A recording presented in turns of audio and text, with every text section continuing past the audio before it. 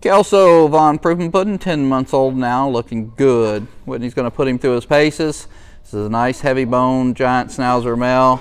Once again, he's 10 months old. Beautiful heads up heeling, beautiful coat, beautiful ear crop. A lot of work goes into developing a giant schnauzer. Very slow to mature, these, this breed is. And this guy's a nice guy. He's learned a lot of behaviors. Solid sit stays and down stays. He travels well, crates well, is great out in public we work really hard to socialize giant schnauzers because giant schnauzers are naturally protective, territorial dogs. If you don't get them out a lot, socialize them a lot as puppies, you'll wind up with a dog that's overprotective. So we spend a lot, a lot, a lot of hours taking these guys out in the public and socializing them and working them with powerful positive reinforcement techniques.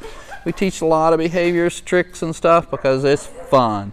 And the more fun you have with your dog, the more you practice and work with the training, the more you practice and work with the training, the better the dog gets.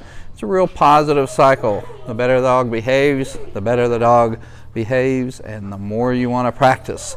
So practice, practice, practice, and it's fun when you have some behaviors to work with besides heeling, sit down, and stay. So shake hands and roll over and bark on command and all that kind of stuff makes for a more fun dog. So that's a little updated video of Kelso at 10 months coming along nicely.